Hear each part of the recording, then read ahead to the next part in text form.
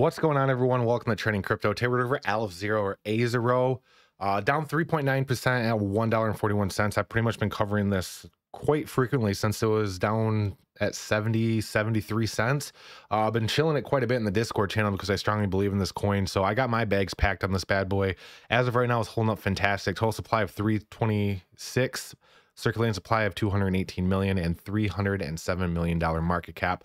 All-time high was 309. Let's zoom down here. 309 11 months ago. We're only down 54% from that all-time high. So compared to a lot of other coins that are still down 80 to 90%, A0 has held up phenomenally phenomenally well in this bear market. All time low was at 59 cents nine months ago. And Aleph Zero still has yet to see a bull run. So it's a rather new coin, came out January 2022.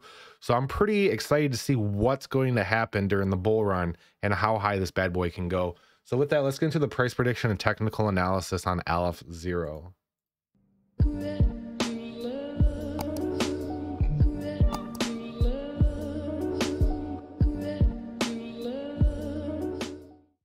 Okay, everyone. So let's get into it. So Aleph Zero, we had this downtrend that we were keeping a close eye on. We were keeping trying to keep an eye on seeing if we are going to go to a dollar, but this support here at one dollar and sixteen cents held up crazy well. Uh, we we had a reversal off that, broke through this downtrend. And as you can see with the red candle here, back tested as support. The support held. And after that, we had a confirmed breakout to the upside and a trend reversal. So Aleph Zero is now officially in an uptrend and a bullish trend.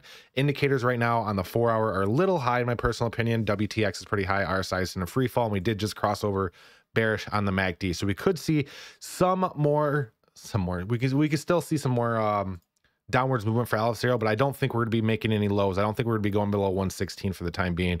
You can see right now we're, we're holding up at the 618. 618 is a very, very powerful support area on the Fibonacci extension or retracement. So if we don't break above the 618, that will most likely be the local bottom. And then we'll start our next leg up to the 1236 here at around $1.66. So even though these indicators are high, if you look in the past, you can be overbought on the RSI and the WTX uh, and still maintain some upwards momentum. So similar to back here, how we had this bearish fake out on the MACD, we could be seeing something similar to that as well. So I'd be all eyes on the 618 at $1.38. If we break below 138, the next stop's the 0.5 at around 133.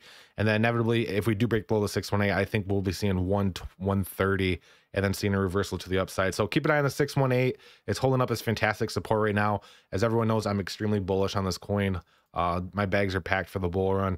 So we can see we're actually starting a looks like a small expanding wedge here.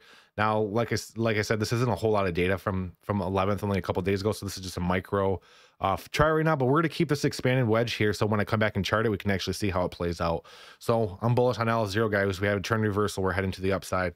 With that, none of this is financial advice. And if there's any coins you'd like me to chart, or if you'd just like to chat with me, you can post them on my Discord or Twitter. The links are below in the description.